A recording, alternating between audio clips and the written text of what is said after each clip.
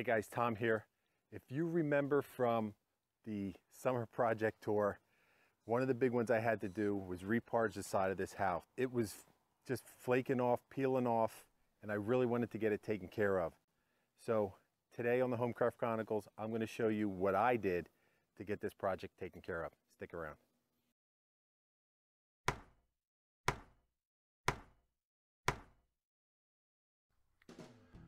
So we started out by clearing away the mulch from the bottom of the wall and then we went behind and dug a little trench. We wanted to make sure that after we were done and had it backfilled that the, the new parging was way down below the grade level so it just was a better finished product at the end.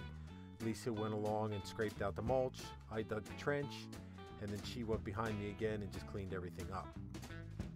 Next was the real hard part, chipping off the old parging.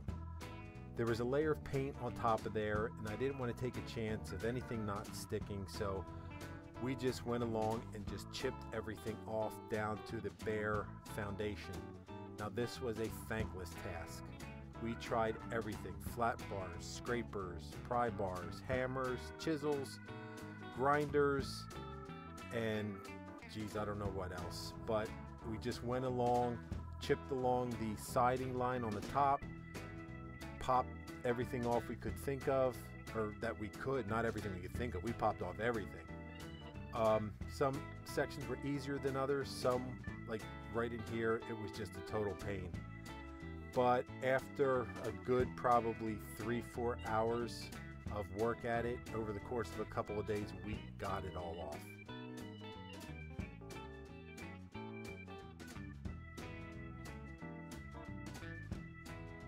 Thing we had to do was repairs. Uh, as part of the chipping process, we discovered some voids in the block, some places where the uh, mortar between the blocks came out, some cracks, so we had to repair that. I just uh, took a brush with some water and wet the patches because I wanted to make sure that the cement could cure and dry before the dry block around it leached out all the water. Now this is just some Mason's mix that I that I mixed up to the, about the consistency of peanut butter. And then I just took my trowel and worked it into all the voids. This did not have to be pretty. This was not the finished coat. So I just wanted to make sure I got it packed into the voids and the cracks and the empty spaces and just made sure everything was structurally tied back together with no spaces or gaps so we'd get a good finished product at the end.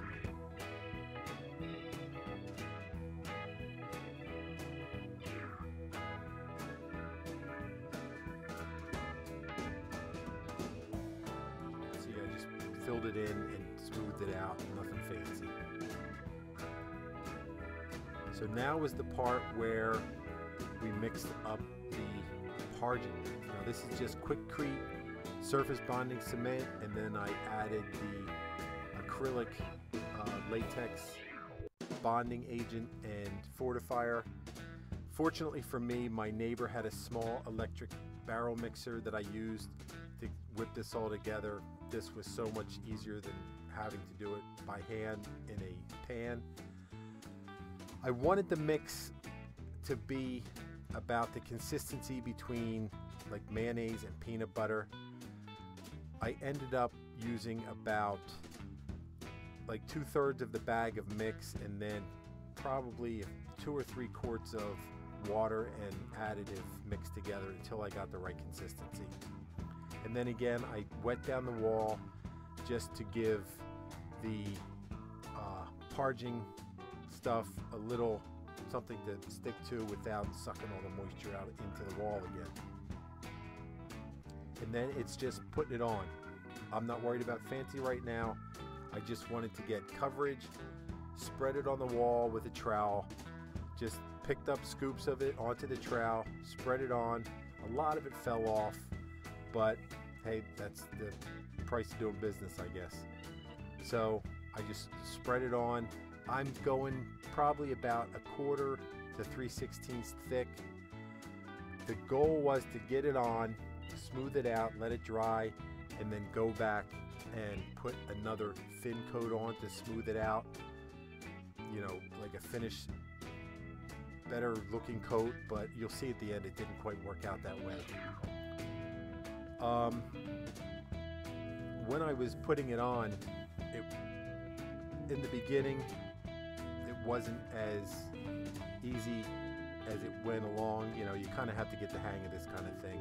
I have not done masonry work probably in 25 or 30 years since I worked at a uh, swimming pool company in my youth. So I was way out of practice. But as you can see, I, you know, you get the hang of it pretty quickly. And after I put a little bit on, I'd let it go, and then I would go back and try to smooth it out somewhat with a thin trowel. Now, I did this, I kind of gave up on this pretty quickly because it just wasn't working out the way I had hoped. I decided it was much better. I went back, I just grabbed a big brush with some water and I just smoothed it out that way. That knocked the, the high edges off, the little inconsistencies, the swirls, and it just kind of evened it out a lot better than trying to do it with the trowel because that takes a little bit of finesse and I just didn't have it. But this worked out well. As you'll see, I would just put some on, put a section of the mix on the wall, spread it out, and after, you know, maybe two or three feet, then it would go back to the previous section because it had set up enough that I could then take my brush and smooth it out, knock, knocking it down like I had done previously that you saw. So I just did that the entire way down the wall. Spread it out, smooth it, go back, smooth out the previous section, and then I'd have to stop every once, once in a while to mix up a new batch of mix. So this whole process took me probably about, probably a couple of hours, two, two and a half hours, three hours maybe to do the whole wall. Now this is the only section that requires a little bit of uh, finesse, as I would say, because you have the wooden window frame there that you didn't want to glop it up on the window frame because that would look junky. And down on the bottom, it was angled and you wanted to make sure you kept that section angled because you want to make sure that you have it so when the rainwater comes down, it's going to shed off that window and not build up there to rot out that window frame or worse yet, back up and get into the house. And also you'll see up in the top corner, like along the edges of where that corner is, you'll see a bunch of like uh, hairy looking stuff. And all that is, is the fiberglass fibers in the mix. And that's what holds the these surface bonding cement together gives it structure and strength and kind of keeps everything intertwined and uh, makes it work. And that wasn't really a problem because after the wall dried, I just went back with my hand. Those little hairs dried up and they came right off and it worked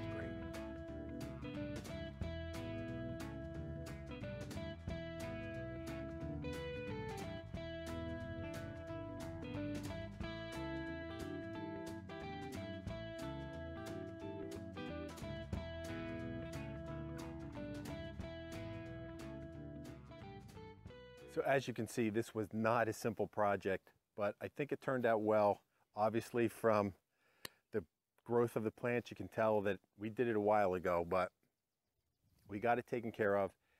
And is it perfect? No, it's not perfect, but I would like to do another coat, but just the growth of the plants wouldn't allow us to do that. Plus, I have four more sides of the house I got to do. Is this the perfect tutorial?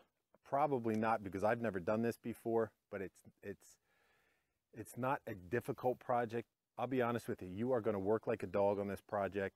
It is backbreaking, it is labor intensive. Are there other ways to do it that might be easier? Who knows, could be. I'm not a professional mason, but this is just the way that I did it and the way that was best for me to do it. So it turned out well and we're really pleased with it. If you got something out of this project and you like this kind of thing and it helped you realize that you can undertake a project just like this, please subscribe to the Homecraft Chronicles.